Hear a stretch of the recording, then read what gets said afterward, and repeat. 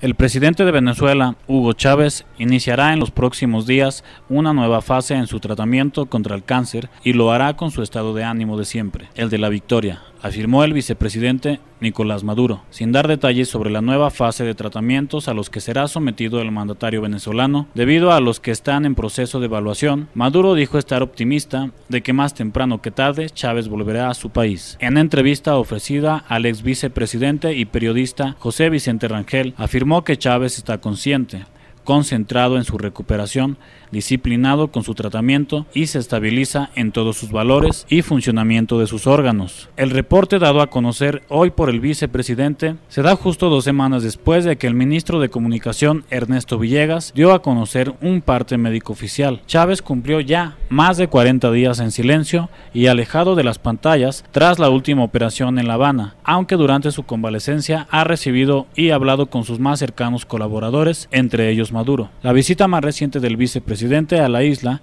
fue el pasado lunes 14 para llevarle a su jefe las buenas nuevas tras el refrendo de su mandato en un evento multitudinario realizado el jueves 10 frente al Palacio de Miraflores.